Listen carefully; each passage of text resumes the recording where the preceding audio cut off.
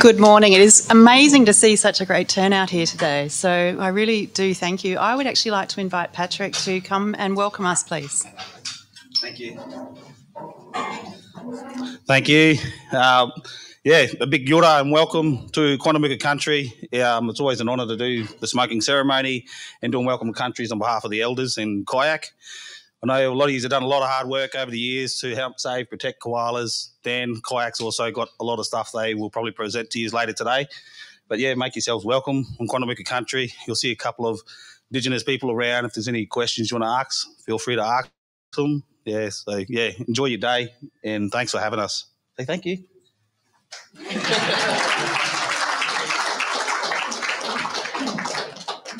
There really is no one better to welcome us to country. So thank you so much for having us here on country today. We are really happy to be here. Now, I would like to start by thanking Department for Environment, Science and Innovation. They are behind and have supported this event to make it happen here on the island today. So to the team, thank you so much for making all of this happen. We are incredibly grateful and really happy to be able to talk about it exactly where we should, which is on Quandamooka country. So thank you all again for having us here today. So my Sharon. I don't really have to talk too much. My job is to just help keep everyone tr- on track and, and moving through our program today. So, our first speaker this morning is Rihanna. She is part of the University of Sunshine Coast detection dog team, and they have been speaking and working, sorry, working on koalas and other wildlife conservation for quite some time. So our team have been involved in this area since 2016, um, and the work that this team does, I think, is nothing short of absolutely amazing. Like they're out there every day, and watching just how much they care for the work that they're actually doing is it really does just warm the heart. She will be followed by other speakers, so we'll be moving through today from Paulie to Megan, um, and then onwards to the QYAC speakers, Dan and Darren, and finally Jeff. So today you'll have ability to answer to ask your questions. If technology is not your best friend, I just ask that you give the questions to me in the break and afterwards. Um, but what we actually do is put it through the technology so that then I've got them all sitting here in a nice long list, and hopefully we can get through all of the questions. So we'll see just how many come from you all today as you actually listen. So welcome to those in the room and also to those that are actually online. It's a, a real pleasure to actually have you here.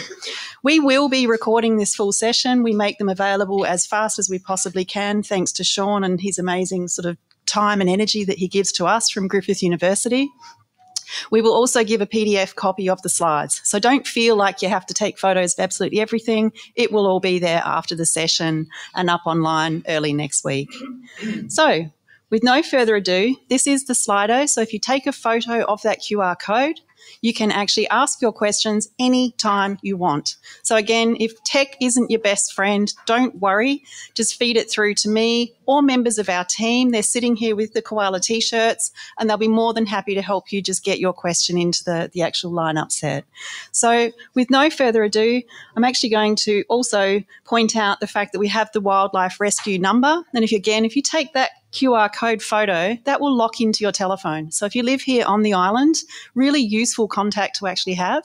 When it's happening, you don't have to worry about who or how to ring. You're going to have it in your phone sitting right there. So very useful thing to actually do. So Rihanna, over to you.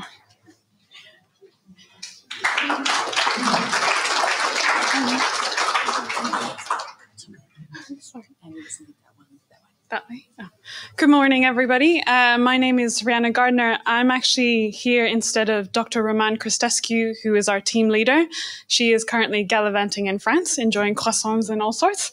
Um, and so I got the privilege to come here today and talk to you about the innovations for koala conservation that this team is um, conducting.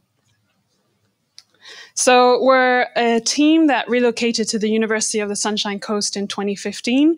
Um, this team actually started with Romane here on the island. She did her PhD here, fell in love with Minjerribah, claims it is the best place in the world. She'll preach it till no end. Um, and she was actually looking for koala scats by herself on her hands and knees and decided there must be a faster way.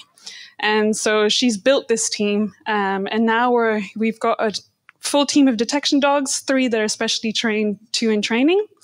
We're about 20 humans um, in the team to some sort of capacity. We've done 4,700 surveys across Queensland and New South Wales. We're doing drone surveys and we're up to a thousand now where we've detected 3000 koalas which we think is amazing and we've also collected 4700 koala scats for um, genetic analyses which i'll talk about later so why do we need to innovate i think this room knows why the koala is in trouble um, especially in queensland and new south wales within 10 years which is kind of the time span that Romane has been studying these, they went from vulnerable to endangered. We know that their threats are many, compounded, and culminating over periods of time. Um, they're also hard to spot, and therefore they're very difficult to study over time, and therefore they're a red flag, and they're telling us, please, can you do something to make sure that their persistence into the future is somewhat guaranteed? So we have sort of harnessed three sort of innovations, we call them. They're really standards of practice that we use. And the first one is obviously our beautiful detection dogs. They've got a nose that can smell anything if well motivated. Um, these guys are all ball obsessed, and they have all helped us to use um, their noses to find evidence of koalas. That first evidence that we're really like harnessing is the koala scat.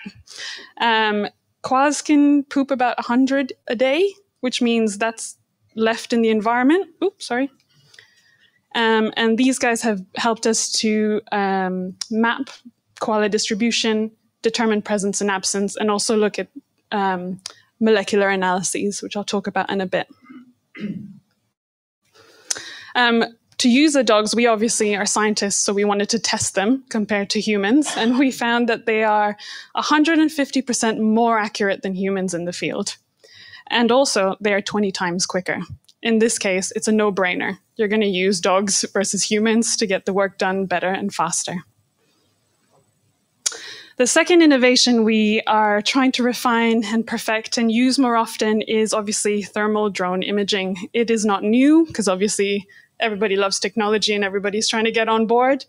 Um, but we have refined our methods, and koalas are hot and they leave a beautiful heat signature, which I'm hoping this video so. So this is an example of the drone pilot uh, operator flying the drone, and we can spot heat signatures, which in this case is this little white blob here. And what the drone operator does is he flies the drone over the bushland systematically. And what he can do is when he finds a white blob, he can fly the drone above, circle, and try and accurately determine what that blob is. In this case, you can clearly see it's a koala. Um, and by doing this, we're also improving our detections. Um, and the next day, we send out the dog team to again confirm the detection and also co- um, pick up koala scats that we find. Oh, it just wants to keep going. And as you can tell, during the day, we might miss this. um, and I've been talking about koala scats, and as a scientific team, we are obsessed with koala scats. it's not glamorous work, but it's great data. Um, and we use do this by using our fresh koala scat detection dog, Billie Jean. Um, she's trained to get, uh, sorry, target scats that are less than a week old. And the reason we do this is that this koala scat actually has some koala DNA on it. And we collect this to look at things like koala genetics, how connected they are, what diseases they have, who they're reproducing with. We can also look at their diet and sort of the nitrogen value within the scats. And recently, we've been looking at their adrenal responses, so how their physiology changes in relation to the environment and um, what they're experiencing. So the DDC has been working in the Redlands as a whole since 2018. Um, we've been monitoring koala populations in since 2019. Um, we've established sentinel sites. So these are sites that we can monitor over time repeatedly. And we're um, working with council to promote koala safe neighborhoods. So this is an incentive to make koalas more visible to suburbia and for them to take ownership of recording data and taking care of their koalas, especially those in their own backyards. So our work here on the island is very special to us all. You'll probably talk to some of the PhD students and they'll tell you that the work we've done here is probably some of the proudest. Um, And these were the three aims. They seem pretty, I guess, basic, but oh, this has a life of its own. Um, but understanding koalas' distribution is the first step to understanding their population health and then engaging community to make sure that they are, one, know where they are and protecting them into the future. So here is the very first genetic pilot study that we did in the Redlands. So we also did it on the mainland as well as here on the island. In yellow here are the dog tracks. So this is how we record where the animals have been. In the middle is a map of the presence of scats that we found in green and the absence. And then we also have a map of chlamydia from the redlands in the island. And you can tell on the island there's very little compared to the mainland. Um, we also use the detection dogs to confirm presence after the 2018 2019 bushfire that came through the island. Um, and we did this to ensure that, make sure that there were areas that um, hadn't been completely wiped out in that area. Um, and as you can tell, the green dots, we did find some presence, which was a relief to make sure, you know, that they hadn't been completely wiped out. Um, and we also started droning on Minjerribah in December 2020. Now, this was the first landscape scale drone surveys for the island. Um, this was quite early on in our droning sort of um, journey, I guess. Um, we covered 1,100 hectares. We detected 117 koalas at 44 sites. And we calculated density. And then we extrapolated this to the regional ecosystems on the island. And we produced this map here on uh, the far right? the darker green areas are areas where we would consider higher densities that we found during the surveys. Red area, obviously, where there's a lot less. And as you can tell, it's mostly in the center of the island, which overlaps with the sand mining, and down in the south, which is the area that pretty much got quite burnt out by that fire that had passed by. So it's not surprising, but this was sort of our first mapping, and we were quite excited by this.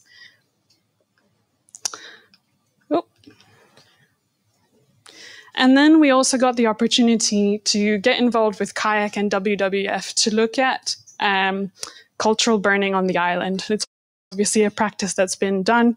Fire is also an important threat to koalas. Obviously, this is an island. Um, we are restricted by the boundaries of the geographic boundaries of the island.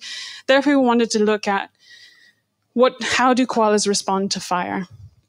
And so we had this opportunity and we were very happy. And in 21 22, we um, surveyed five sites using a before and after control impact design. And this essentially means we got to survey before and after using sites that were unburnt and burnt. So we did 20 flights. Um, we detected koalas 225 times. And with these detections, we also went out and collected the scats. This was a lot of swamp and bush bashing and uh, removing thousands of ticks afterwards. Um, and we tested the effect of density. So, looking at whether the culture burns had any effect on their density, on their adrenal response. So, therefore, were they a little bit more stressed or not, and on their genetic diversity. We found no evidence of this, i.e., the cultural burns were low and slow and burnt patchily enough that the koalas were pretty happy to stay where they were, come in and out, breed successfully, keep living their lives. And now this raised the question of, well, can we use cultural burning to mitigate fire impacts? So things like the 2019 2020 mega bushfires. Um, can we reduce the load? Can practices such as this help into the future? And it's this idea of using fire to fight fire. Now, the consensus on this is still out.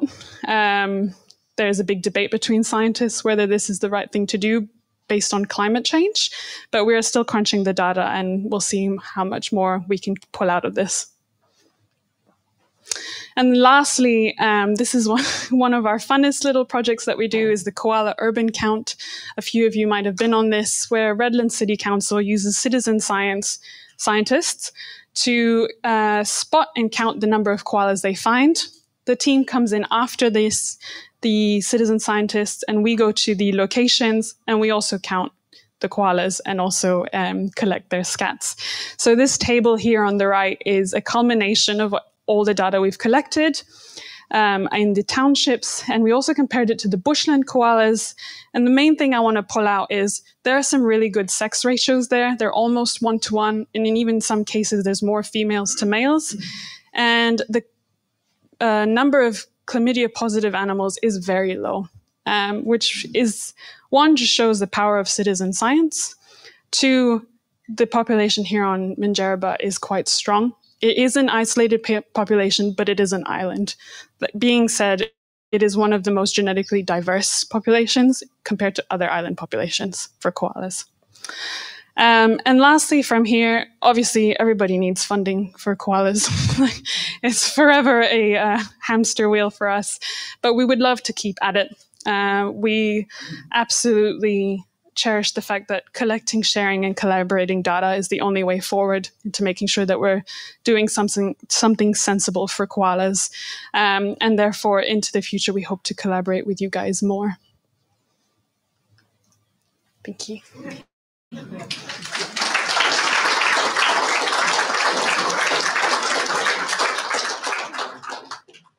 I did forget to actually say that Romane was so, so sad not to actually be here. She was so, so sad. So just know that for those of you that know her, uh, the timing was not uh, in her favour.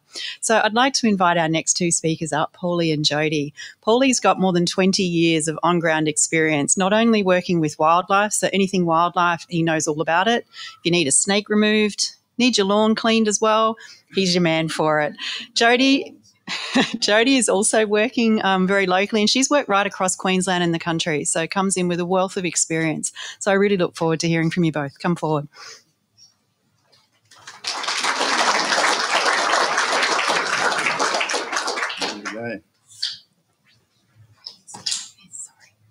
You can use that. I don't want to use that. Okay. Just okay, I'm good. Can I go? No, not leave. Good day, guys. Um, for those that don't know me, my name's Paulie. Um, I've been rescuing wildlife in the island for over 20 years, which is um, it's my passion and my my whole life basically. So yeah. Um, I'm Jody. I'm the president of Wildlife. Well, there's a lot of people um, the president of Wildlife Rescue Minjerribah, North Stradbroke Island, and I'm a volunteer rescuer, and I'm normally out and about with Paulie. Um, we rescue animals better than we do this, so if you can bear with us, that'd be that'd be great.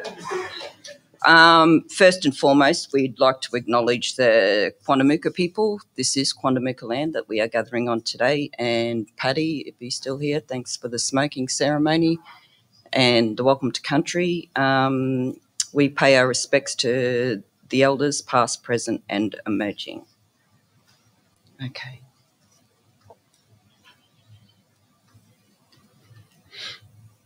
All right, so Wildlife Rescue Minjerribah, we are an independent organisation. Um, we are we are just humans wanting to help rescue wildlife. Uh, we rely on donations from the community to run. Um, every now and then we jump in and try and source funding. Everyone needs funding. We need it for equipment. Um, it takes a lot of equipment to rescue um, animals, especially koalas. Their cages aren't cheap.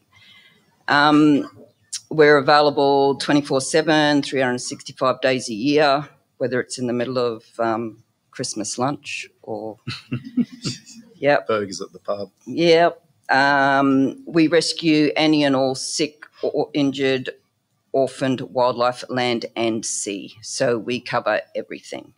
And since records from 2017, we have attended over 500 koala rescues. It's a lot of rescues on a um, on a little island. Okay, so um, we are unique a few of our challenges we face. Um, being a beautiful island with abundance of wildlife makes us a tourist attraction. Um, the island gets crowded with humans, vehicles, and dogs on weekends and school holidays. So at the moment, we have no vet. Um, we've got no hospital on the island. Um, So once we rescue a koala, um, I've got to assess it, see what medical treatment it needs. Um, then we've got to organise logistics. So you can imagine on an island, it's not easy. So we're running with taxis, everything's to time. Um, so thank thank you for the like the Straddie Flyer. I think without those guys, would be stuffed. Absolute legends. Um, there's been cases where they've held a boat up for me, especially the last boat when we've taken the koala over, um, so I could get home again and continue rescuing, you know. So they've waited 10, 15, 20 minutes for us. Um, and all the people getting on board were bloody awesome as well. So everyone understood what was going on. Um, where are we?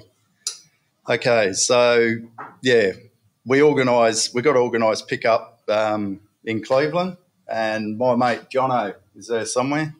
Where are you, Jono?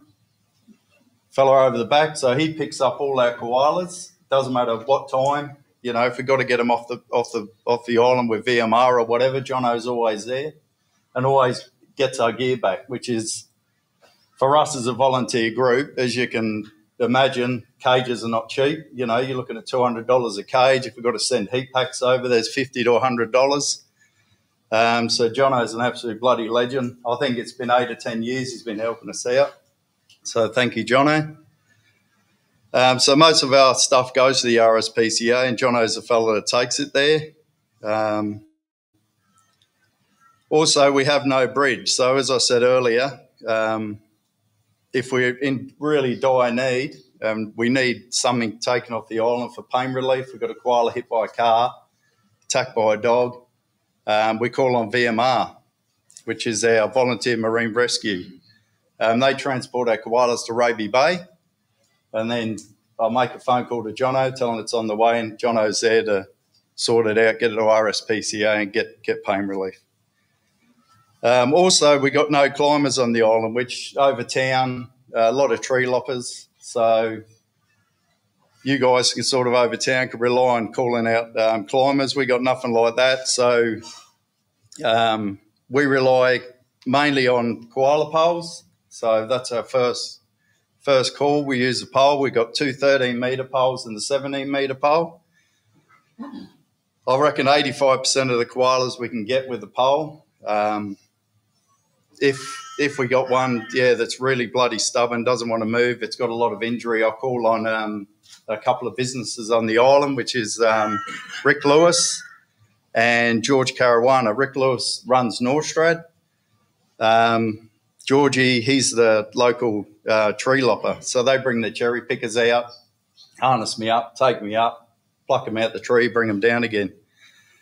Um, absolute bloody legends. I don't know what we'd do without them, to be honest.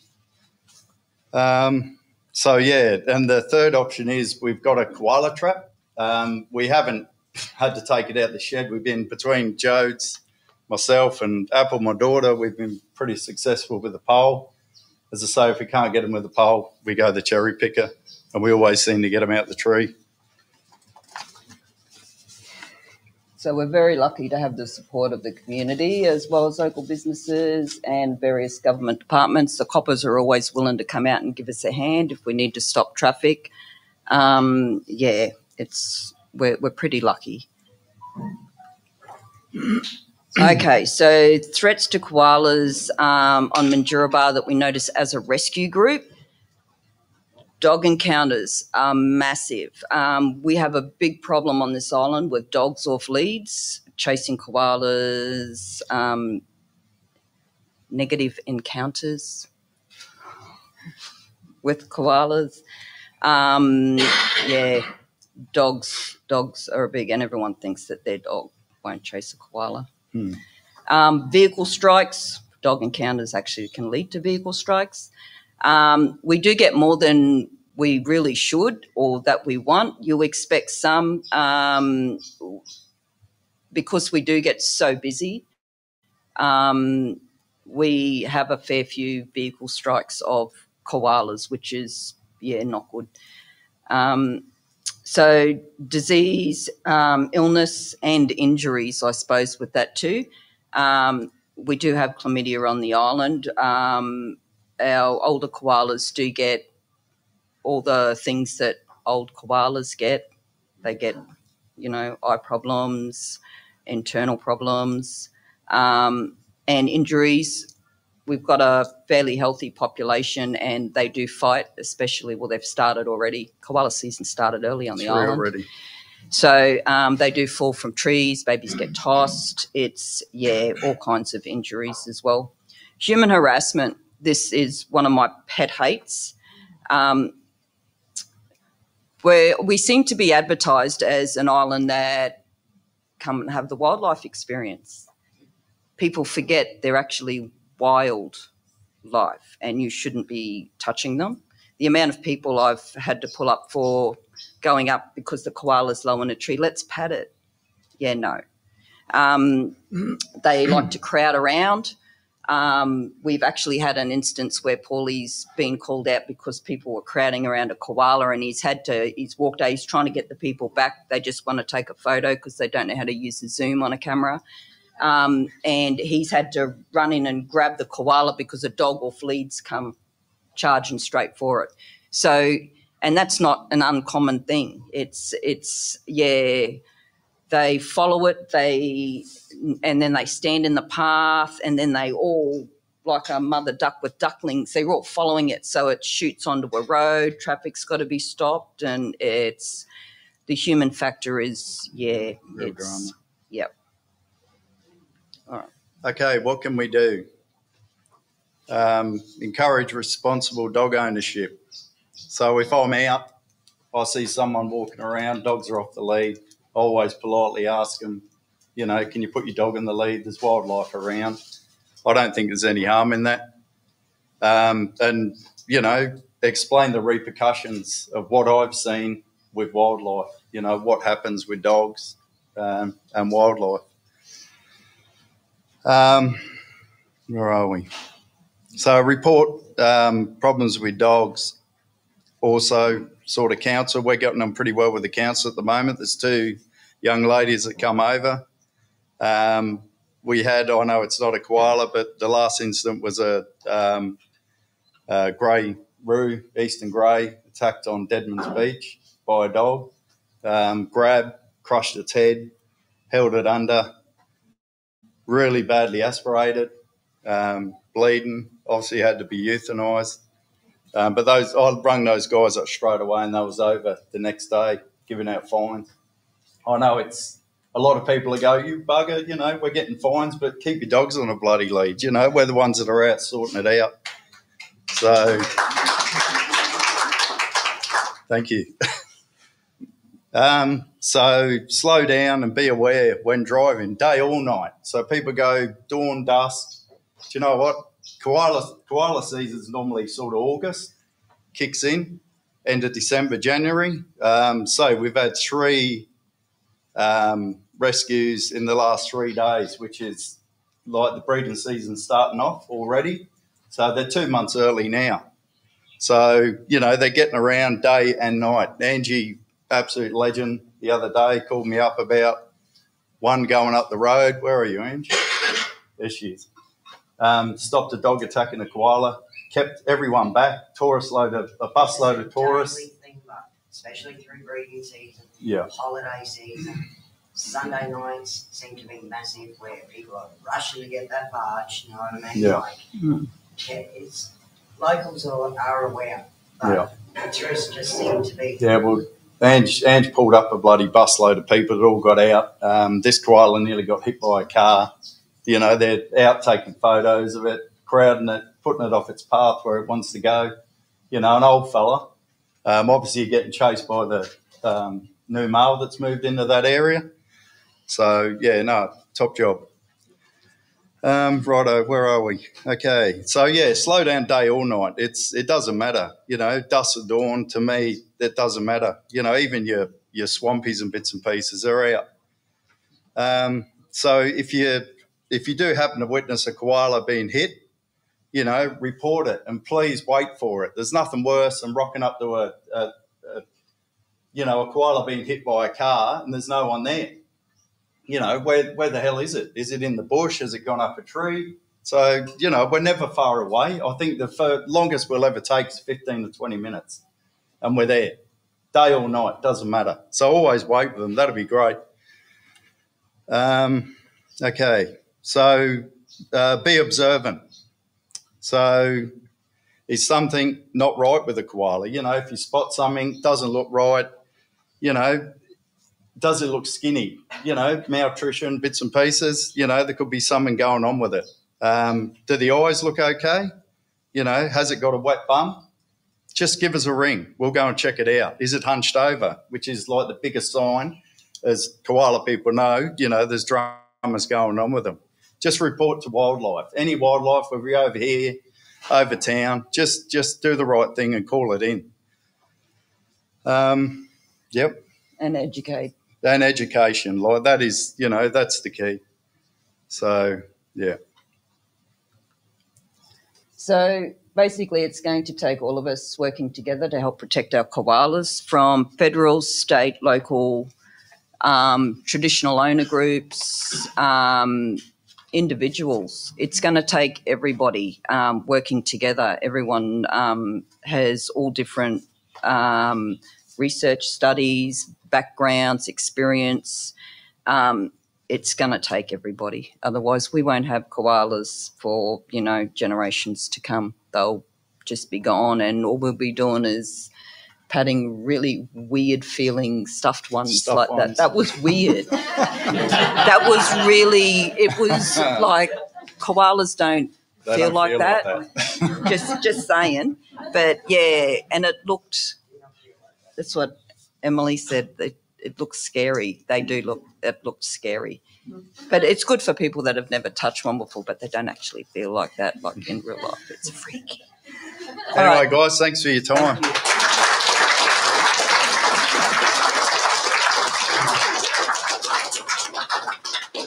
I'm sure we would all agree that Paulie and Jody did an absolutely fabulous job of speaking. So give them another round of applause.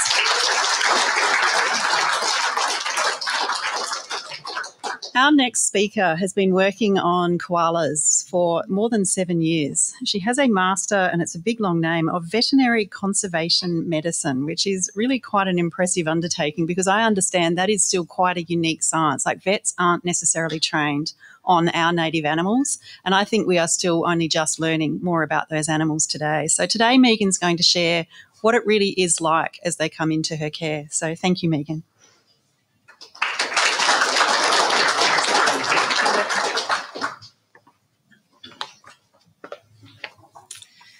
Okay.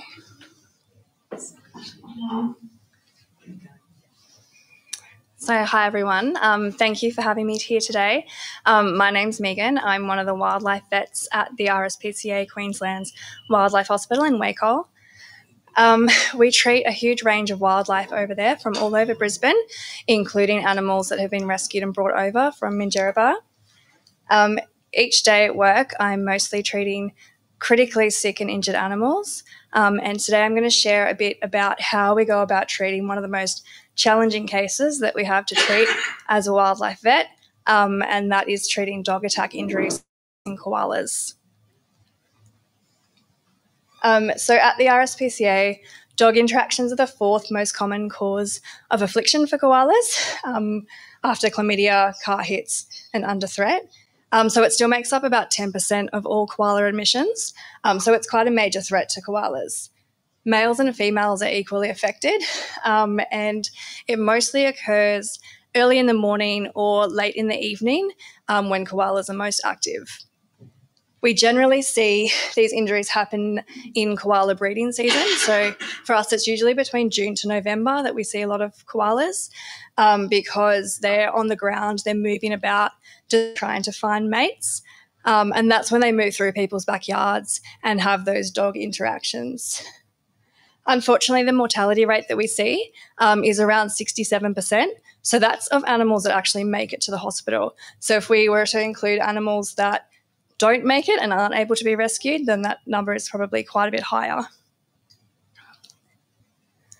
Um, so, in terms of koalas coming from the island here, um, similar statistics in that dog attacks are the fourth most common reason um, for animals to, for the koalas to make it to the RSPCA hospital from here, um, with orphaned koalas being the most common reason that we see for admission.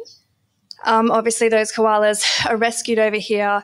They have to be transported by the ferry, picked up um, on the other side by one of our volunteer rescue drivers, usually John Knights, um, that brings them over to the hospital. So it's quite a journey before they get to the RSPCA and we can treat them.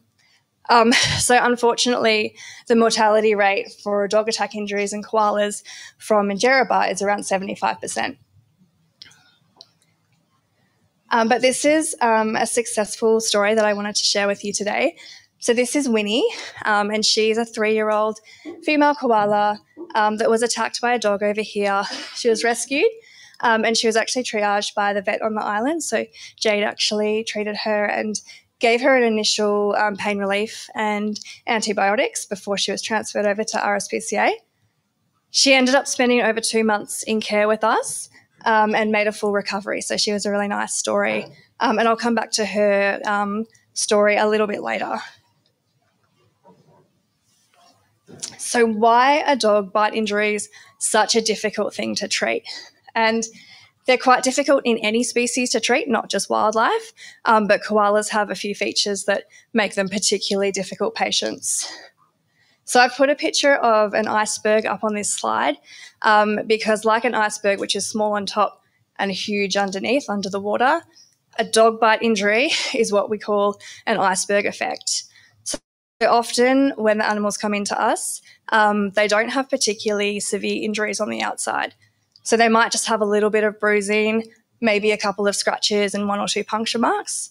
Um, sometimes they have absolutely no wounds whatsoever. There's just some saliva on them.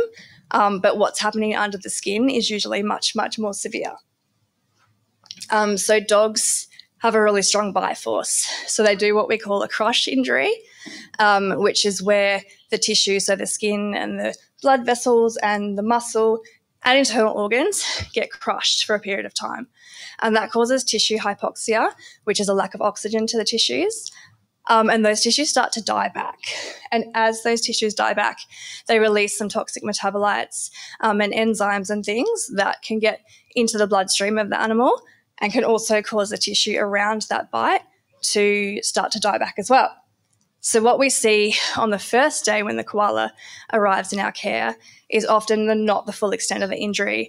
And after the next two to three days, the wound that initially looked not too bad can start to look very, very severe. Um, I've written the size of the dog doesn't necessarily correlate to the severity of the injuries. So sometimes our smaller dogs are actually more likely to go for a koala just because of the nature of the dog. And I love dogs. I don't want to villainize dogs at all. Um, but unfortunately, these um, interactions do happen.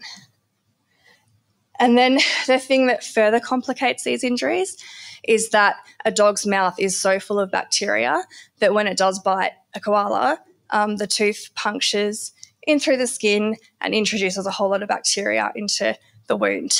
Um, and these bacteria are anaerobic, which means that they thrive in a low oxygen environment.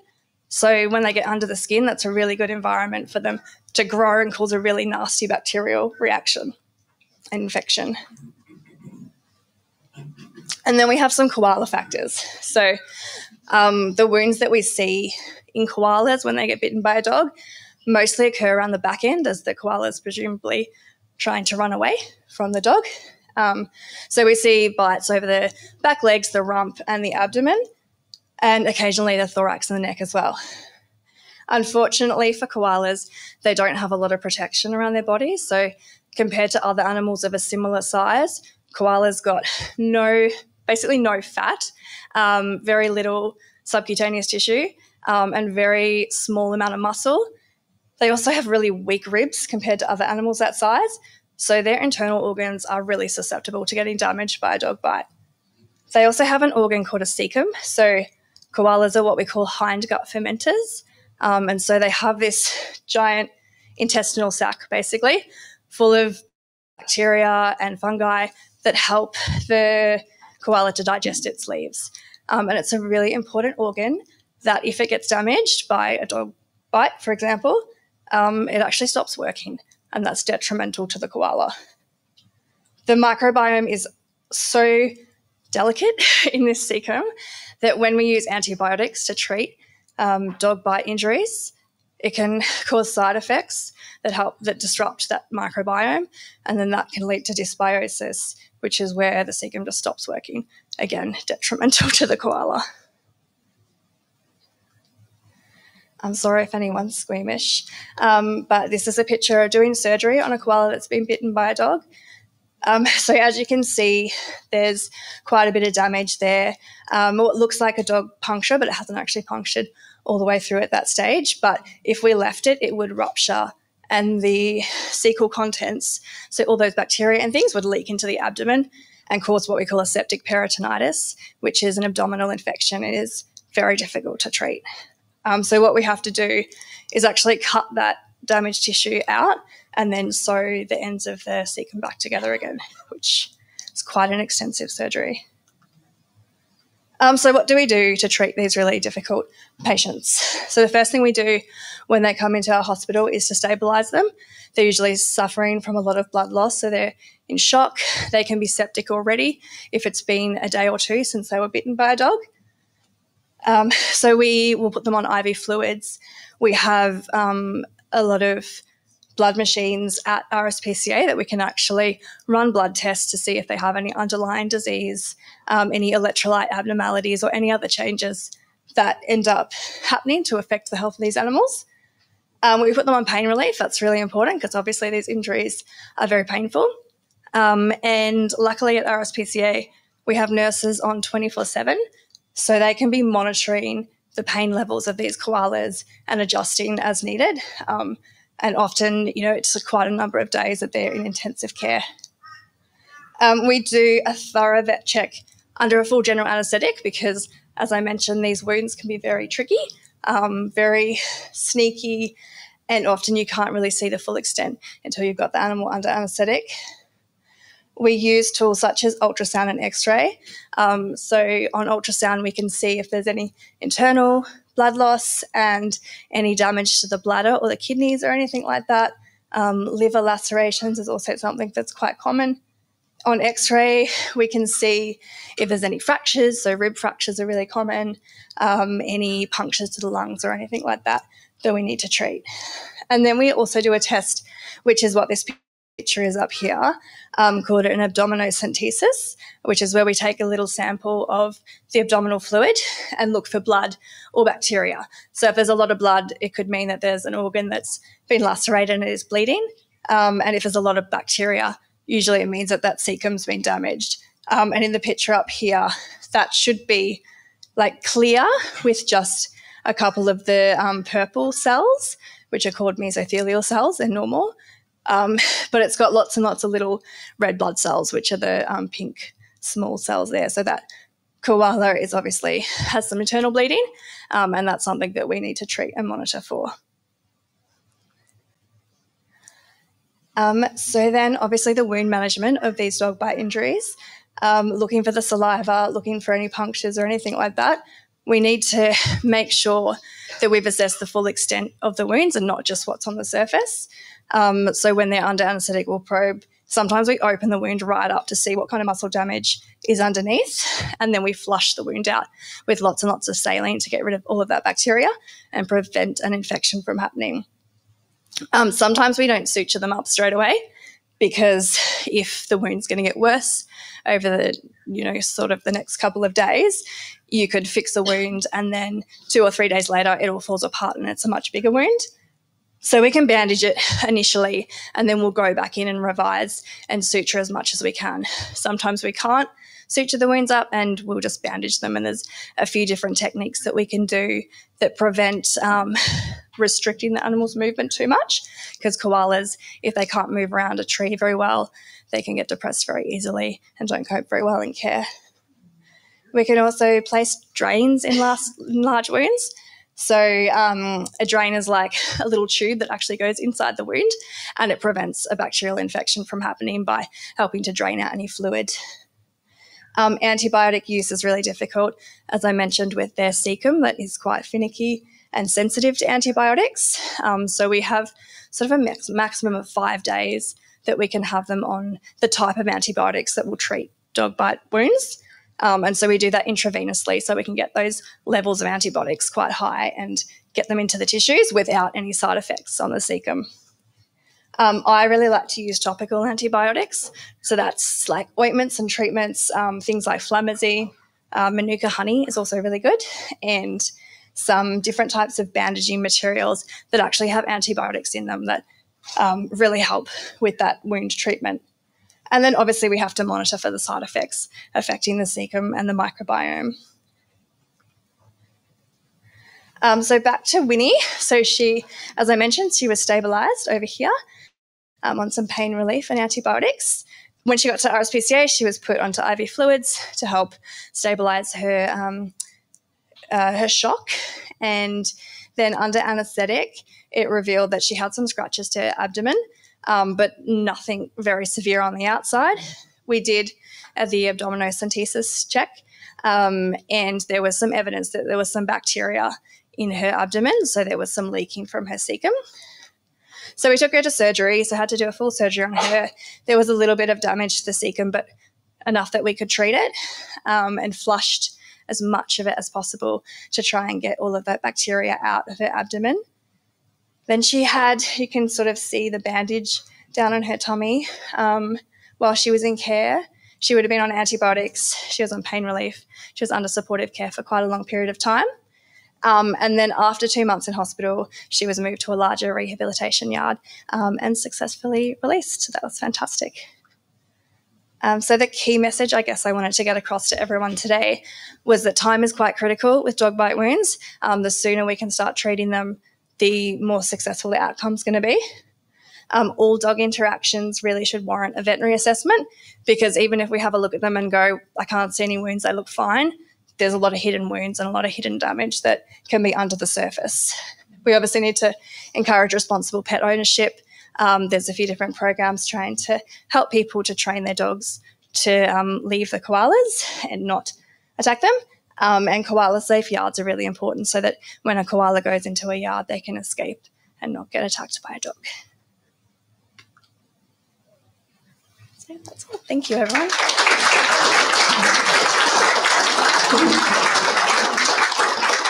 Well, I'm sure, like myself, you've already learned a lot from our speakers. So don't forget to actually put any of your questions into Slido. So please do put your uh, phone up and remember any of the questions to these first speakers now go into that, and we will have a panel after our next two speakers have actually spoken. So there is the Slido in case you actually need it for Q&A. But don't forget anything, just pop it in there. They would love to hear from you and to actually talk more about these when we actually come back. But for now, have a quick brain break. Everyone needs it. Stand up, stretch, have a chat, walk around. We'll be back in 10 minutes time.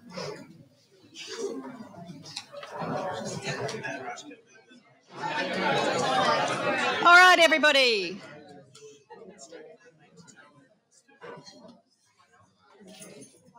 What a wonderfully compliant audience you actually are. Usually, I have to really work hard to pull everyone back in after a break. Um, thank you. I hope you're enjoying it all so far. I'd like to introduce our next speakers. They're from QYAC, Dan Carter and Darren Burns, and they're going to give you a bit of a background on QYAC and the work that they actually do, including conservation of koalas, bushfire sort of management, and so on. So I'm going to hand over to them now. Thank you.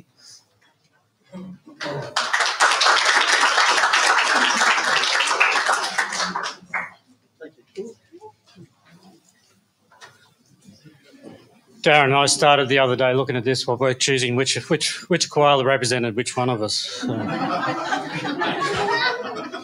Steve, our CEO, is calling me a koala now anyway. So, so um, yeah, welcome to Minjerribah. Uh, this presentation will go through a bit of what QYAC's doing and, and the work that we've been doing recently with the koala drone work, thanks to the funding of WWF, DESI, um, and the work we're doing with the Robo- Roboto as, as we speak.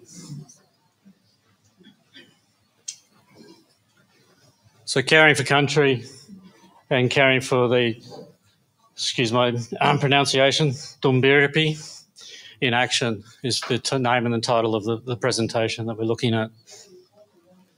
Darren, do you want to talk about your? We'll just don't need to talk to the slides. Yeah, thanks, Dan. Um, first, I'll pay my respects to um, my elder. I've got an elder in the room here today, um, and I want to pay my respects also to Paulie. Uh, he's total saviour, the work that he does, getting up in the middle of the night. Before Paulie, it was Jack Jackson. So we've got these, you know, totally dedicated people who get out there and, you know, do the the salvation for these koalas, the the researchers that do their bits, you know. So it's it's great. My son up the back there, he he works in the feral animal control. He's taken ten dogs, itinerant dogs, out of the bush.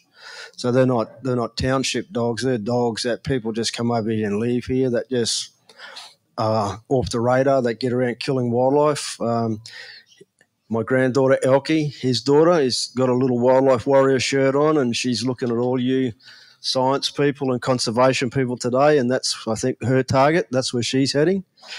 Um, we've got some local ecologists who work with us um, at Quandamooka also that are totally invaluable. The work that Jade's done over the years, and she's building up her vet clinic now, and so you know I think what I'm trying to say is you know this big group of people that care for Burrabi, um, and in our culture, Burrabi is like a little creature who lives in the trees. And in our folklore and our custom, um, has a special place out there.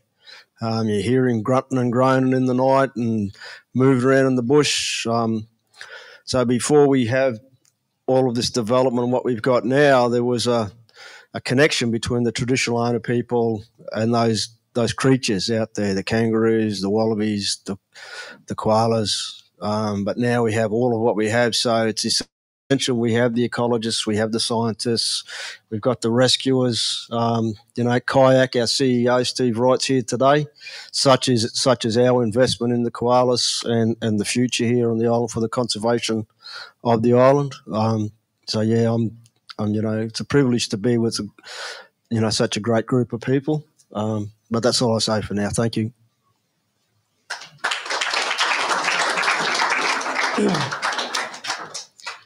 So QYAC recognises the koala as one of only two naturally island populations in Australia. The population has been isolated from the mainland for approximately 8,000 years. The population density currently is unknown. There's some really way out there population density estimates that go from 30 odd up to 700 koalas. But the data we're showing seems to be a lot more high density than that. And we're improving in time understanding of the distribution and of those koalas across the across the country. What we're going to focus on is wildfire and the bushfire threats that we're facing the koalas here. So in kayaking, we looked at the data and the statistics. We saw and recognised following the, the big wildfires recently, probably the key threat to wipe out a large proportion of the population in a single event is wildfire. In 2014, bushfire, 70% of the island burnt. 2018, 18 Mile Swamp Fire. 2019, the Amity Swamp Fire. The impact on koala population was really unknown. They did the initial work that Romane showed earlier with the scats, which picked up koalas in that southern end, which hadn't been picked up previously. This frequent high intensity fires have changed the vegetation communities. So if you look across the landscape, we're now getting more of a thick shrubbery understory, which is carrying those wildfire events into the canopy, which is really that threat. So you'll see the work that Quandamooka people are doing currently with the TFMS in reducing that fuel load across and, and opening that opening up that understory to more of a grassy focus. so Minjerribah and QYAC have developed the Minjerribah Quandamooka Jalo Fire project, which covers mostly the Naree Budjong National Park. We've also developed the Township Fire Management Strategy. The, these two documents form a, a whole of island fire management approach. It's tenure blind, which is the first time I think in, in all in Australia, if not Queensland, definitely in Queensland. So we've ignored the boundaries of Redland City Council, we've ignored the boundaries of the Department of Resources, we've ignored the boundaries of, of QPWS, recognising that native title exists across the entire landscape and develop that fire management strategy focused on protecting the life and property assets of the townships, but also to improve and enhance the ability to do wildfire or plan burns across the entire landscape. There's going to be a shift in vegetation community types over time. We can't just do this overnight because there's been 200 years of colonisation where it's eliminated appropriate and due fire practices. Koala and bushfire management. Managing fires and koalas. We build upon the knowledge of koala distribution across the island. Transect surveys for humans, scat surveys, bit of human and dog, detection dog surveys, and the UAV and drone surveys. The picture above is some recent work that we did with Jeff Lunky Jenkins' team and Scientific, where they walked those transects through that area at, at Flinders. They only found one koala. The area below is what we found with the drone work. If you had the privilege of trying to walk through that bush and actually look for these koalas, it was almost impossible. I joined the, the Sunshine Coast team after they'd done drone work looking for scats. Um, I'm not a bad koala spotter, but I couldn't find them at all. So um, it shows the value of using the drone and that technology to do it, let alone walking through that country, especially that Amity and Flinders, you're in and out of swamps. So, so just at that point of the conversation, I just want to raise a couple of things. Um, the earlier presentation that we've seen today um, touched on will cultural burning help the koalas? And I heard it said that oh the, the science, the jury was still out on that. Now that's a contradiction on top of a paradox. Um, because you might have heard what Dan's just said, because of those 200 years that traditional burning hasn't been done in the bush, that's why the bush is like it is today. And it's getting worse. So we're not just doing cultural burns, we're actually out there mowing this bush down in lieu of being able to burn it because you can't have a control burn today. You try to do a cultural burn like a tribal Aboriginal would have done 200 years ago, you're going to have the same result as a kid walking around with a box of matches. It just goes boom. So we can't really do cultural burns. We've got to do something in between. We've got to do manual reduction and we've got to not put fire into some of this bush because it's just going to go berserk because it's it's not set up for that. So um, I just wanted to, to put that point in there.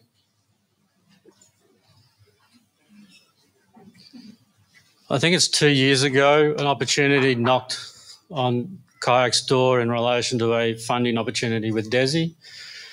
Um, at the same time, USC also did a funding opportunity with WWF. It was such a good project. We for the first time ever, we actually had both company, both organisations support and fund that project. So that was this cultural burning and understanding that landscape and use of the drone technology.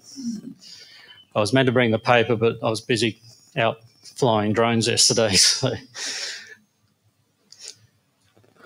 Out of that work, we quickly learnt the Flinders swamp burn. We had a large swamp burn that we wanted to do. It was take 12, to 13 years since fire.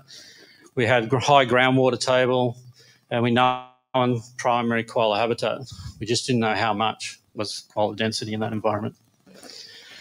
In June 22, USC gratefully flew the area, picked up 52 koalas, which I think was their, their, their record density of koalas in that time. It highlighted the risk of the koalas and required a revision to the burn plan. We went back to the drawing board in relation to what we were wanting to do and how we are going to burn that block. It revised the resources, and we included, in, given the population, we engaged Jeff's and DESI's koala team to come and assist and understand the risk and the threats. In July, uh, we had Q, Queensland Fire and Rescue's um, drone tech team come out, and we flew it, flew it, flew it before the fire event we found another 40, we found 48 koalas during that flight. We mapped, used to brief and highlight to all the people on the ground the level and the density of koalas in that environment. We had two water bombers on standby, not just from a residential perspective, but from a koala management perspective, so that if it was going to get hot and go into that koala habitat, we were able to water bomb it straight away. We had Paulie and his team on standby. We had actually a vet here from DESI and a vet from Currumbin we had one koala was injured. So this is us flying the first night with DESI, um, with the Queensland Fire and Rescue. You've seen a bit of this shot, the koala there and that blob.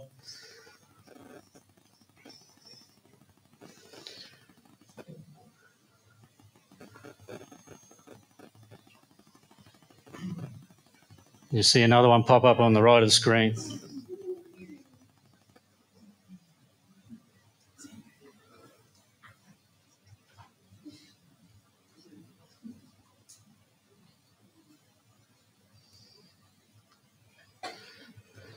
During the fire, we put um, incendiary helicopter out through the middle of the swamp and ignited through there.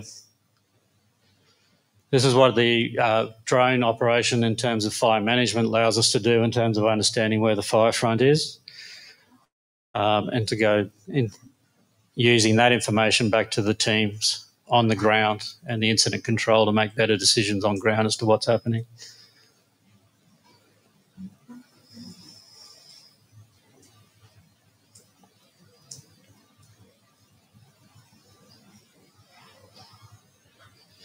So that fire, I think the day that we lit it up, we had rain that morning. Um, it was perfect conditions in relation to just letting that swamp burn through there.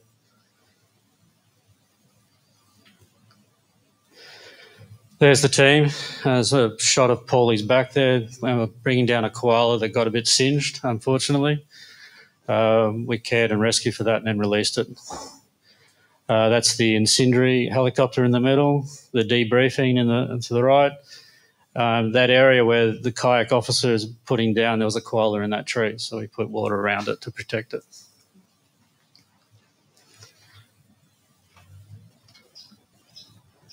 Not only you see koalas, you would see other wildlife.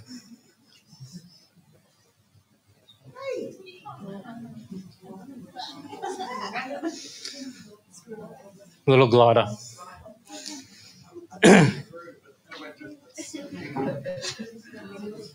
The beauty of the drone work also has allowed us to follow up behind and actually see what was the koala density post fire. We didn't really see much significant change in those numbers.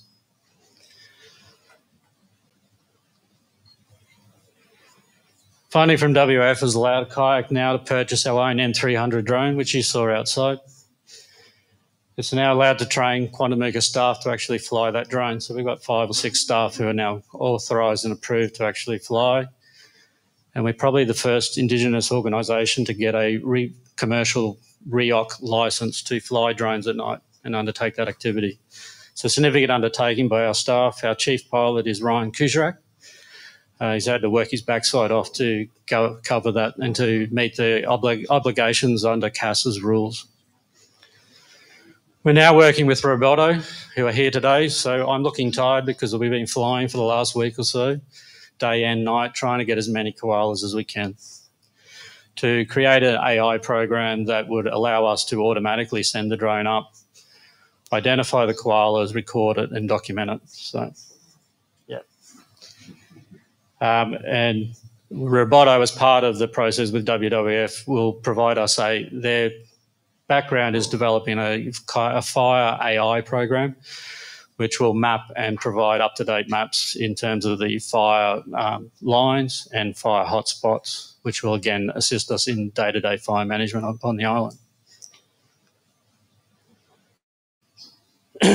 Conclusion for QYAC protection and management of Minjerribah koala is important. Use of cultural and modern technology to protect cultural koalas on country we're only just seeing the start of what the use of the drone technology here on Minjerribah and what it can deliver for us, improving our understanding and knowledge of koalas across the island. And using this knowledge to mitigate bushfire risk to these animals, not just koalas, but also the gliders and every other species out there. So, Darren, have you got um, yeah, thanks, Dan. I pay my respects to Dan too. He's since coming over from the mining company. Dan's been our principal science officer he's he's led all of our science associated works excellent, and I know we've got to wrap up. So I just want to pass on that appreciation to all of the partners in this room. Um, and I hope you can appreciate QYAC's efforts in this space. And, you know, hopefully we're really coming together. You know, um, I see Simo representatives here. Simo was doing the, the hard yards back when nobody cared. Um, so we're all still in this together. So it's great. Thank you. And thank Dan.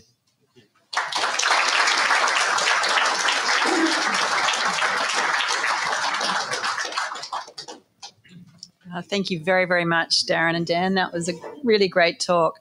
Now, our final speaker for today is Geoff Lundie-Jenkins. Jeff works for the Department of Environment, Science and Innovation, and he comes with more than 35 years of experience, probably more than he would care to admit, working across not only koalas but uh, all forms of wildlife. His job today is a lot of strategic oversight work, including working on the 2020 to 2025 uh, Queensland koala strategy. So, Jeff, over to you.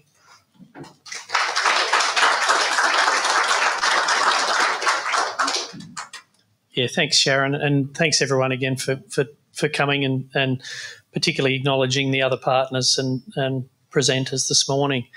Um, also, would like to again add my um, acknowledgement to the traditional owners of the country what we're meeting, the Quandamooka people, and pay my respects to elders past, present, and emerging, and acknowledge ongoing connection to land, sea, sky, and country.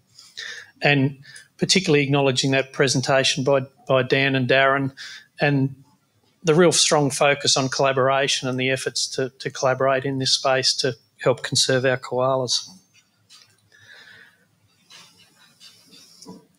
I'll set a bit of a scene in terms of where we're at, where we're at in terms of the, the Queensland government's response to circumstances for koalas.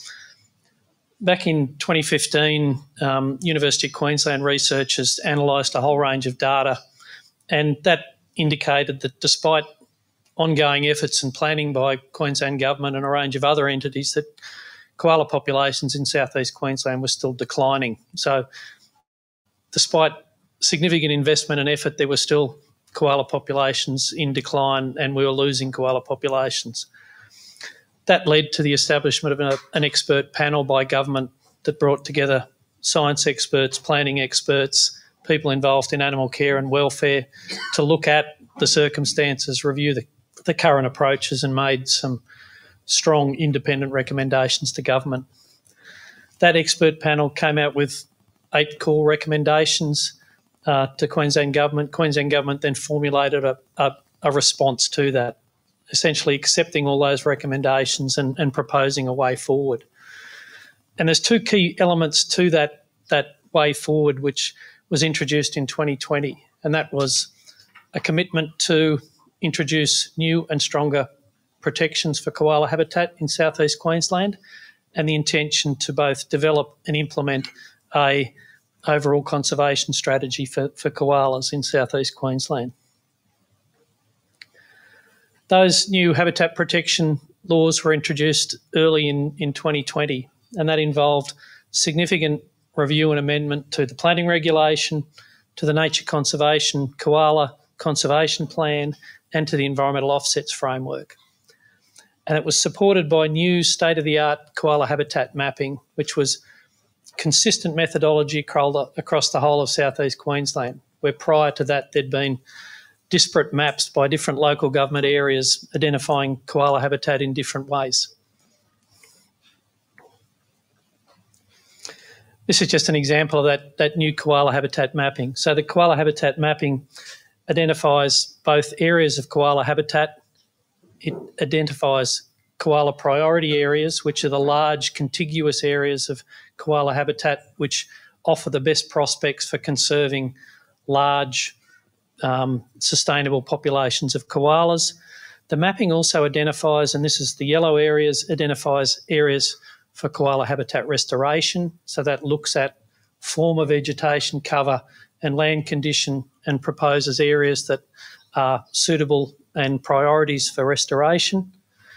We've also more recently also started to undertake and have prepared koala threat mapping. So we've overlaid all the key threats to koalas to identify areas where koala populations are subject to threats.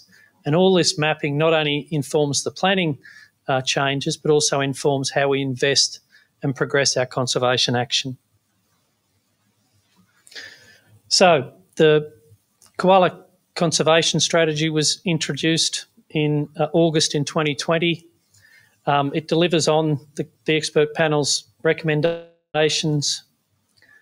In 2022 2023, the Queensland Government announced and, and um, new funding. So it committed $24.6 million over a four year period to accelerate and expand actions under that strategy. So some of the projects I'll cover in a very rapid fire way today uh, how that money has been spent. There's a, annual reports have been prepared in terms of how that um, strategy is being implemented, and they're available online. Some of the sort of core highlights I'll try and cover today. Please catch me afterwards if you've got particular questions around areas that uh, are of, of interest or, or you want more information. A key part of the koala conservation strategy was that it set some pretty ambitious targets. When the first draft of the strategy came out, the community and a lot of stakeholders came back and said, "You haven't gone hard enough. You you really are just um, playing at the edges of this." So, the targets that are now set within the strategy reflect the feedback from the community to say, we want you to take this seriously.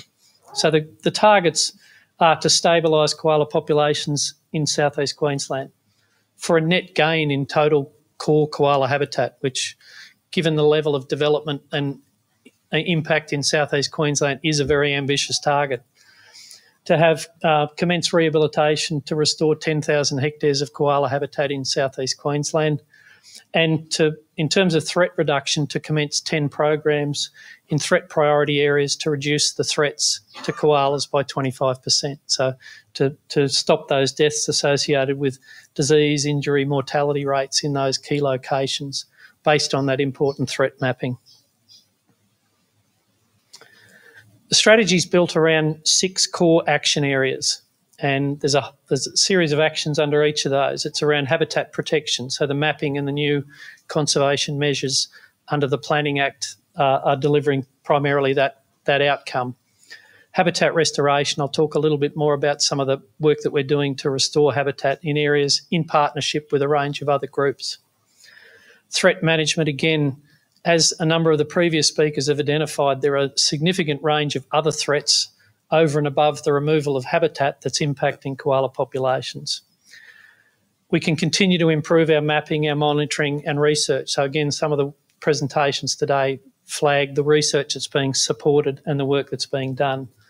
Community engagement is a key thing because there's acknowledgement that we can't do this alone, that it needs to be a collaborative effort. We need to leverage the support of the community and other organisations to, to be effective in this space. And that's that community engagement leads to those important partnerships and then very much strategic coordination so that we're all rowing and contributing in the same direction. Some key investment and achievements so far, and I'll probably go through these really rapid fire. So, um, in, as I said, the map, the, the new habitat protections have increased both the area and the level of protection for habitat in southeast Queensland. The state of the art mapping, which identifies not just the habitat but the areas for restoration and the areas that uh, where koala populations are most at threat. We've invested to date over $4.48 million in habitat restoration, primarily through a partnership with the Queensland Trust for Nature, inviting private landholders to restore koala habitat on their land. We've run a range of uh, koala collab events to bring together experts and partners in the community and these programs and forums that Griffith have been running are a, a follow on from that and complement those original collab events. We've invested $10.8 million plus in SEQ Wildlife Hospital uh, network, and that includes support for RSPCA, Australia Zoo, Wildlife Hospital, um, for Currumbin Wildlife Hospital, and also for the Moggill Koala Rehab Centre. In addition to that, we've also funded three rounds of wildlife carer grants to support the volunteers who invest their own time and money in, in rescue work. Um, the program we've been running with Griffith University, that's to date over a $1.2 million investment in doing co-design sessions with local governments and the community in running community engagement events, in doing breeding season campaigns to focus attention of the community on the threats to koalas during that time. We've funded many rounds of applied research grants to support the type of work that University of Sunshine Coast are doing with looking at scats and drones. We've invested in work to support the creation and deployment of koala chlamydia vaccines as an important response to that level of chlamydial disease. As part of the Griffith program, we've been promoting and, and extending some of the work on Leave It. So that's the training for dogs to in wildlife avoidance So, really important program in those areas where you've got dogs adjacent to areas supporting koalas or urban areas where koalas are living within that urban area. Um, we've just in the final stages of a major study to look at and identify key road strike hotspots across the whole of southeast Queensland that allows us to then make decisions around where we should be strategically investing in infrastructure and other works to reduce road strike events. Um, we've uh, just funded a project which will be led by Healthy Land and Water, and they've started engagement through workshops with the community and local governments to again feed local information in to identify where those threats are, what work we're already doing, and how we can invest to complement that, that existing work. Um, there's been some talk about koala sightings. Again, we were successful in developing and launching a koala sighting app that works on the Q Wildlife platform as a basis for the community contributing data to help us identify where koalas are, what's impacting those koalas in, in, in our landscapes. That new funding and some further funding that we've attracted in the past six months will allow us to, to also expand in these other areas. Um, we've engaged with uh, Indigenous communities across southeast Queensland and have developed a First Nations koala action plan. Um, we're currently in discussions with QYAC about hosting a workshop here on Minjerribah to bring together all the First Nations groups from across southeast Queensland to talk about learn from and to develop programs to work on country to help uh, do the type of work that uh, Dan Darren talked about. Ongoing community awareness campaigns. Maggie's been sharing out in the foyer copies of the education and teacher packs that we've developed around koala conservation. We've got ongoing um, intent to run these types of forums to both support the community to understand what work's going on, but also hear about opportunities to support and participate. We're developing tools to refine and assist mapping. So we've engaged CSIRO to develop a habitat assessment tool. We're working with them to develop a hub to bring together all the monitoring data. So again, communities and um, the general public can get an understanding of koalas in their local areas. Um, we're expanding habitat mapping to go outside of the SEQ planning region into the SEQ bioregion. So again, that will introduce further mapping to support local governments in planning and, and implementing actions to support koalas.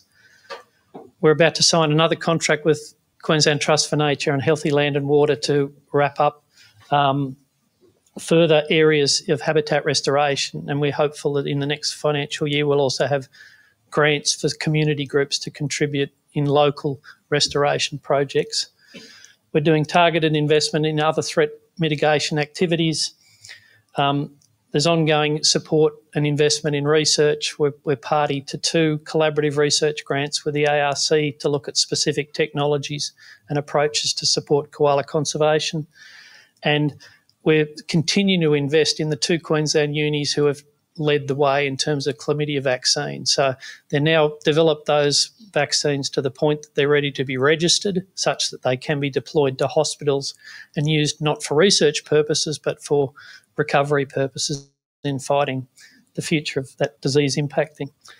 I'll make some quick comments on the Commonwealth program because we're very fortunate in that whilst the koala has been listed as endangered, which is sad and unfortunate, the Commonwealth Government has also leapt in to establish a national recovery team and a national recovery plan and have invested $76.9 million across that southeast range of the koala.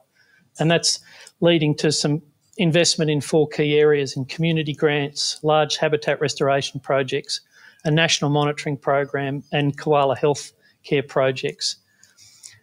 There's over um, nearly 60 projects have been funded under the small grants part within Queensland.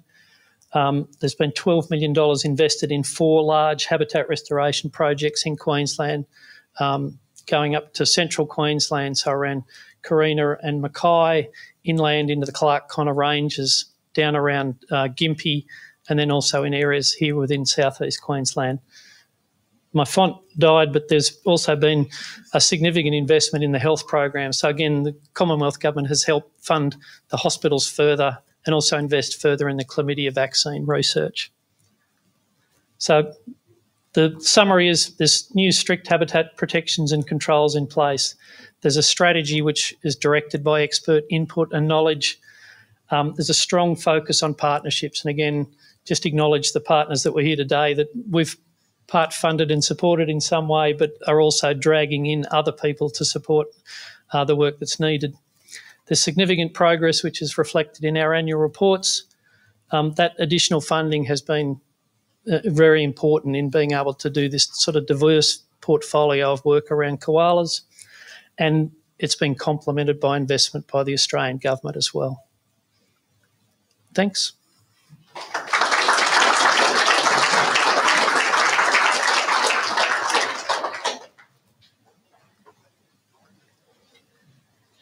Okay, this moves us to the Q&A session and a chance to actually get all of our speakers up. So while Kim gets our speakers uh, very organised, um, I'm going to look around the room for Megan. Where is she? Megan Foster?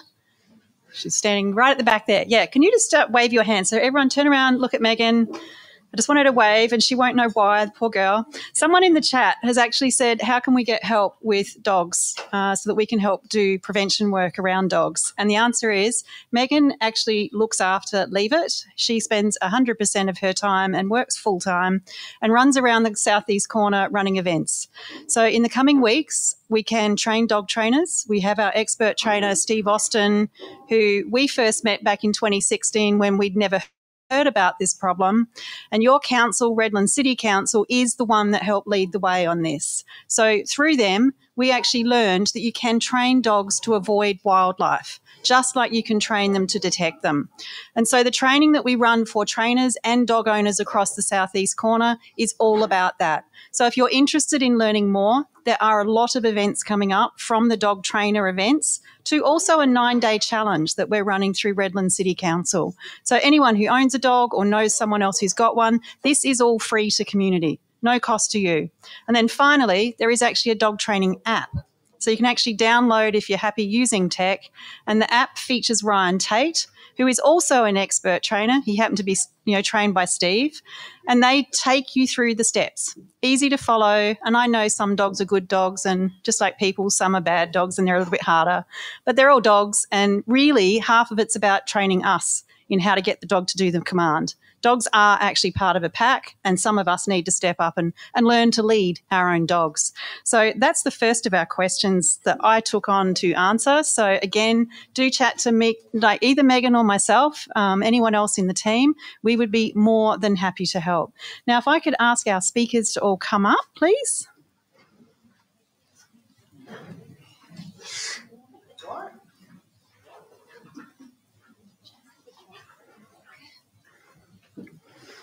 And I'm going to actually pose my first question. And forgive me if I can't get through these. There are so many questions that have actually come in from everybody. So thank you. So if everyone takes a seat once you get a chance.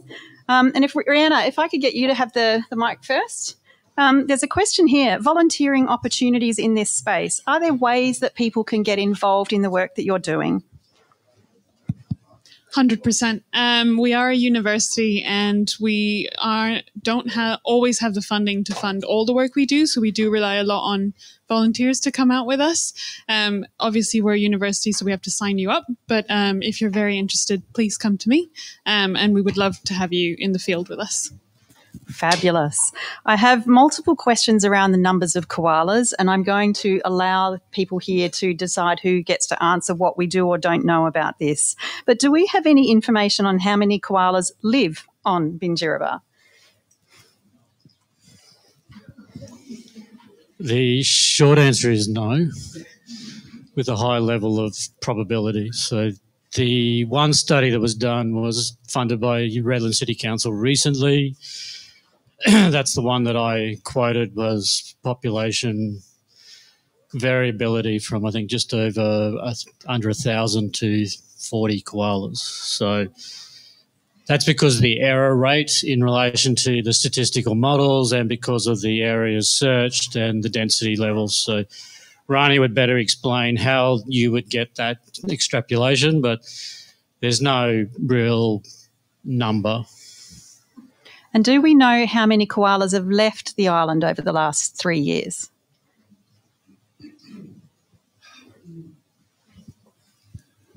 Yeah, we got the stats, but we didn't bring them with. Um, yeah. so, yeah, we can't answer at the moment. Yep, just ask Paulie later on. He might yep. actually figure out where all the bits of paper are and be able oh, to actually. know where the paperwork can, can is. Add, a, just, can yeah. I add a comment to that as well, mate? Um,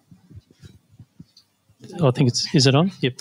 Um, there has been a lot of concern expressed about, I guess, koalas leaving the island in terms of getting care, and then the issues about them returning to the island.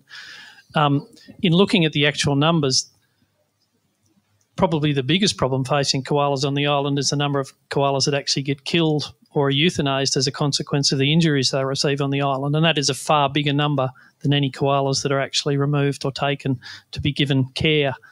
The other thing I also want to emphasise is that the, the decision that was made to initiate a moratorium on returning animals to the island um, was based on serious concern with the potential for introduce of novel diseases into the koala population on the island. And as you would have seen from some of the research work that's there, there is a low level of disease within the Minjerribah koalas, and it's a it's a, a genuine concern that taking animals to the mainland where they're exposed to animals where there is a higher level of disease in those animals, there is a, a genuine concern about the risk of bringing animals back and introducing those diseases. So to address that, we are actually now working through and we have formalised a disease risk assessment and on the basis of that disease risk assessment have developed some quarantine protocols and assessment protocols. We're now um, in the early stages of uh, negotiating to host some of the traditional owners and other people from the island to come to the mainland and inspect our facilities to look at how those processes would operate in order to potentially establish a pathway to bring the animals that are received care back onto the island. So, how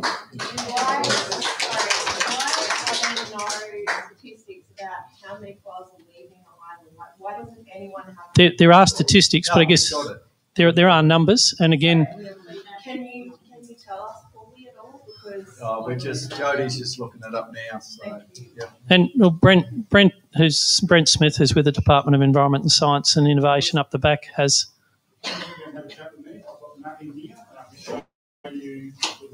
But your, yeah, your data is different to what it actually is, and that's what our concern is, is that it's not showing real loss, and without us knowing what real loss is, then it's, it's meaningless, like, it hasn't been spoken about today as to why the koalas aren't allowed back. Yeah.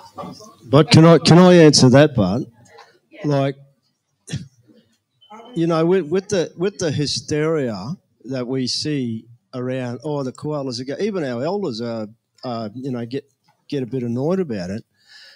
But this is the world we live in. We, we you know, as traditional owners, we didn't bring these effects to these koalas. But if as traditional owners, if we say, nah, go and run the gauntlet, because we've had lots of people tap us on the shoulder, oh, let them come back, let them come back. Now, if there's hysteria on social media and that now, imagine the hysteria if we start letting the koalas come back and then we get some mad disease run rampant through a lot of them. Okay, can I just, can I, excuse me, can I, yep. Can I just move on because we do need to talk about other things as well. But I just wanted to talk about that Redland City Council issue, though, because, like Jeff said, there's lots, you know, these issues are, are not just, they seem like one, but they're not the whole lot. But the fact that there's so many of these koalas getting attacked by dogs, so the council once embarked upon making some of us national park rangers and community rangers as authorised officers. We could not get the cooperation from the Redland City Council to support us in our compliance actions. We would give them names, dates, photos, and I've seen that many dead koalas, it's not funny, from dog attacks. The council would not do anything. Now we've got DESI, and I was remiss earlier of uh, uh, mentioning DESI as our number one partner um, that funds the majority of the work we do.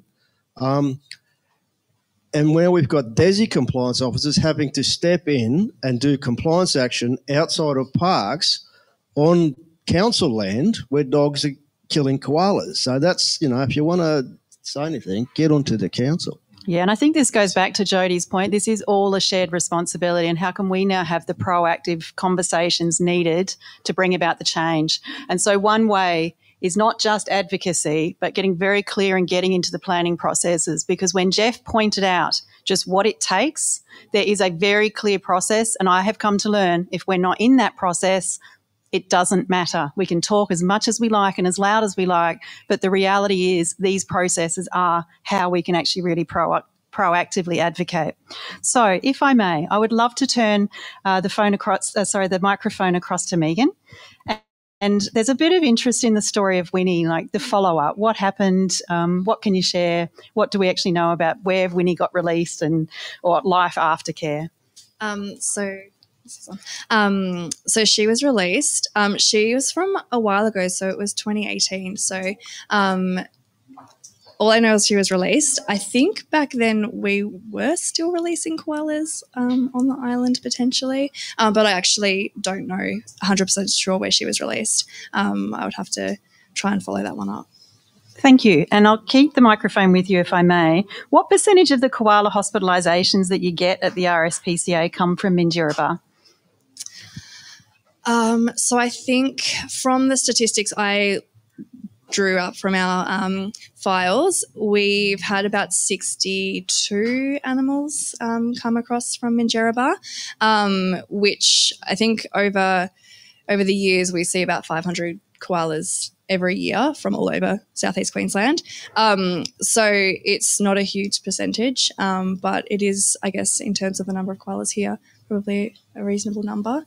Um, we obviously only see the ones that do make it across to us, so we don't see anything that doesn't make it. Um, and some of them might go to other facilities potentially as well. Um, I have a question again, and I'm not sure if you can answer this one, but I'll, I'll, give I'll ask it. Was it significant that Winnie received early stabilisation from a vet on North Stradbroke before being sent to the hospital?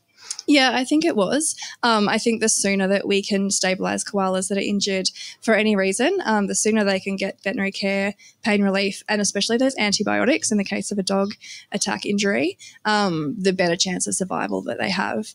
Um, obviously, it's really tricky to have a vet on the island. Um, there needs to be support and funding to um, be able to have that kind of facility here, I think. Yeah. All right. My next question is for you, Paulie. Oh, great.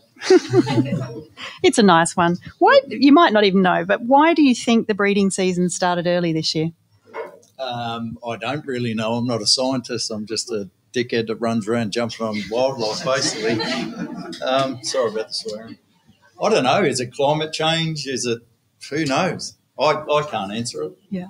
But I know it's happening. So yeah, we're two months early than what we normally are this year. So, yep. Um, one thing I've heard is that we've got trees that have flowered and fruited four times this year. Um, you know, the carbon load in the atmosphere and things all around the place. But, um, and that was old Uncle Greg Litherland told me that too. So it's just got to be true. Three to four times compared to how many usually? Hmm.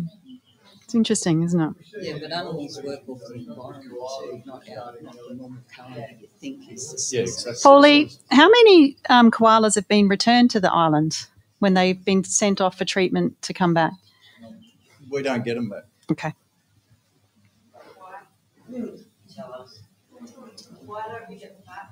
Well, did, did we not just have that Yeah. conversation? Can we I? Just, we just had the conversation that if we bring them back, there's the biohazard. And I think the other thing we have said is that this there was a moratorium put in place in response to a concern about the potential to introduce novel diseases onto the island to a population that has low levels of disease. And we are working through a process to allow the animals to be returned. But as I said, the number of animals that are taken and don't return is a very small number compared with the number of animals that actually die and are impacted on the island itself.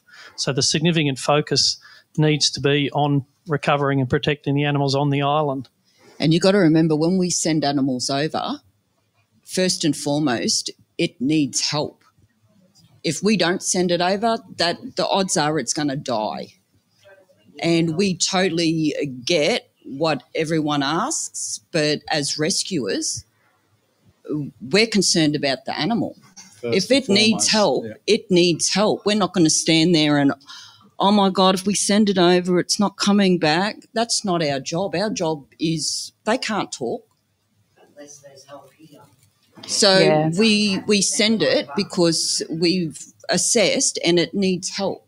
So related to That's that, there's it. there's quite a few questions in the chat. Would a local facility and more local on island support work, and would it be, I guess, viable? Because this is a not just a it is a whole of southeast Queensland issue. So if I could pose that to the panel.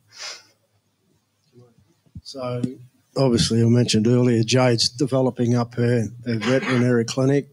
We've had the conversation what what Jade needs to bring that up to the level of care that wouldn't negate the animal having to go over there. Comes back to dollars, you know. So QYAC obviously will be contributing whatever we can to assist with that. But um, you know, the point is, don't we we can't let hysteria start to to dial this conversation. There has to be that line. We we can't open that door. I th- think again from the Queensland government's perspective, we have met we met with Jade a number of times to talk through, I guess, the types of facilities that would assist in being able to both provide that triage, immediate triage support with the right facilities to do some of the assessments that are done at the wildlife hospitals, but also to be able to provide that pain relief, but also importantly to potentially be able to euthanize animals so that animals aren't actually transported off the island and then euthanized 24 hours later after that fact. So there's we've certainly had discussions with that. With there's certainly no closed door on the idea, but we'll acknowledge that the establishment of and the operation of a wildlife hospital is a very expensive endeavour, and um, the the money that we invest in the SEQ wildlife hospital networks is significant, and we have part of the conversations we've had is about the idea that those other facilities would be prepared to partner with or provide support to um, some type of facility or the wildlife care group over here to to better position them to be able to provide that initial triage support, the pain relief, and the the ability to euthanize animals at, an early stage to avoid them being transported. I was just going to add um, to back up what Geoff was just saying. Um, koala veterinary care is quite specialised, and so it's not just that initial triage or that initial surgery that we do. It's the ongoing care. It's having nurses there at night time to check the koalas. Um, you know, twenty four seven. We have specialised cutters to go out and get leaf for them. So it's quite involved to be able to have a wildlife hospital, um, and so it's it's not a simple process, unfortunately. Yeah, and with that obviously comes a huge dollar cost. Now I'm just going to turn our questions, if I may. Can I just add something to that as well? Um, I don't have a space in the vet clinic dedicated to wildlife. I tried to secure funding that that, before the bill, but I was unsuccessful despite my best efforts. However, I have designed that vet clinic to be quite flexible and adaptable and definitely with wildlife in mind. I have hired all my staff with experience, skills, passion necessary to treat small animals and wildlife, and we are in a prime position to help this whole story. And I've been talking to DESI and QYAC for years, so watch this space. We're going to do better. Yeah, that's And- absolutely fabulous. Keep up the amazing work. And It's just on the tail really end of that, important like work. Straddie, you know, it's all everyone loves Straddie. It's hip, you know. They're filming movies over here. I think we've got something like ten pubs, um, ten alcohol outlets. Um, so we, you think we could at least have a koala hospital here? Look, if I was running it, I would be taxing every visitor onto the island. But that's just my two cents for business, how to run it, and how to actually get the funding that you all actually need. So, can you lobby to uh, hit it from that angle? Because I'm sure tourists would pay. So let's let's get it let's get it moving. Um, if I could just turn to the fire bushfire management, and there's a, a beautiful question in here that I would really like to just pose to the the QYAC team. QYAC work is leading the way in how to get fire back on country. How can this knowledge be shared to mainland communities to help scale up this important work? Well, I, you know, I don't know that it can, but you know, we see some of the conversation. Um, you know, there was a big move after some of the big bushfires to get Aboriginal involvement um, in fires, and we even had people suggest to us that we needed some of these Aboriginal fire practitioners to come to Straddie to tell us how to do fire, and we said, why, why would we want that? Like, you know, we it, it'd be like us running the flag up saying, well, we don't know. We need someone else to come and tell us. So, like from a island perspective, we can't talk outside of you know, like, but I think the conversation in principle though needs to be along well, it's not this way or that way. It's it's the multiple ways to look at it. You know, um, the conversation. You know, it's just just around practicalities and and being honest. Um, I think there's it's not a shift in the Indigenous community. It's actually a shift in um, the organisations and the land managers to embrace what is cultural burning, but also for governments to understand that the cost and the money they spend in doing wildfire mitigation when it burns is the investment you need to put into the bushfire in proposed in plan burning.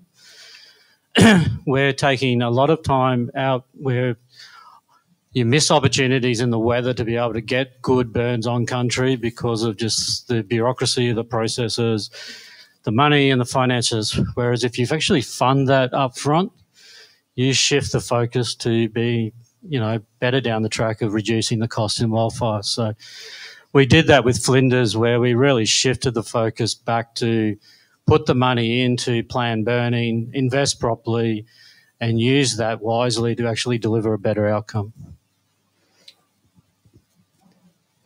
Yeah, I just want to add a, a, bit to what Dan and Darren have said is that I think absolutely acknowledge that um, QYAC have led the way, and particularly in relation to this application of fire to preserve koala habitat um, in southeast Queensland, and absolutely reinforce Dan's point that we tend to, uh, after we've had large scale wildfires, we tend to then have the government investing a lot of money in repair and restoration work following fire, not necessarily in that uh, avoidance of fire space. And I think the, the wildfire has demonstrated, the wildfire season in 2019 2020 demonstrated to us that yes, fire can have a catastrophic impact on populations where that wildfire goes through and destroys habitat. But the post fire recovery has also demonstrated to us that the introduction of fire into those landscapes allows us to better manage that habitat in a way that that habitat can better support the populations of koalas and other species that use it. So the judicious application of plan burn, particularly cool plan burns in that thick um, bush, is a really important sort of fire management tool to both prepare and improve the habitat, but also reduce the risk of wildfire in the future. And it's um, something we're seeking to invest in in some of the re- habitat restoration projects. Is not simply planting tr- new trees, but actually managing existing habitat through both weed control, but also the application of fire. Geoff, while you've still got the phone, there was a question in the chat. Um, do we know, with your goal to restore 10,000 hectares of koala habitat, how many hectare, hectares have been achieved so far? That's a really good question. It's a question I wish I could give you the answer to exactly today. Um, part of the project that we're running with Healthy Land and Water to look at habitat restoration and a more strategic approach to it is to engage with all the other entities that are currently involved in koala habitat restoration. So um, it isn't simply a Queensland government project. Um, there's um, others that are doing it on our behalf. There's others that are doing it under the auspice of the Commonwealth government. there are others that are doing it under the auspice of other non-government organisations. So, it, in order to answer that question, we need to collate that information, and also that will set us up to identify where we can best invest to complement the activities that others are already doing. So, it's that whole let's work out what everybody else is doing. And rather than reinventing things or investing in our own activities, let's complement and support the groups that are already active in that space. So uh, hopefully within 12 months, I'll be able to give you the exact answer, but not today. So the answer is coming, is the short answer. Um, folks, I'm going to draw um, the question and answer session to a close, and I just apologise profusely if I've now missed a few. I've tried to collapse and address as much as we possibly can. The speakers aren't running away, so please take time now to come and talk to any and all of us. Um, if I could just ask my team, Louisa, Tori, and also Kim, Megan, I've already singled out. You're welcome to stand up again. If you could all stand up, please. I just want to point to these people and just This is my moment to talk about the amazing work that this team does. We are project funded, so that means we only get funded if we get the work. And what this team has achieved in the last year alone is that they have effectively engaged 1 million people. That is not just here in Australia. We now have people who watch us from overseas, and that's important with our Olympics actually coming up. So, this might be people who've been involved in one of our training sessions, they've downloaded the dog training app. Here at the forums, like you are today, um, our team work incredibly hard. So I just wanted to thank them um, and get you to thank them as well for all the work that they do.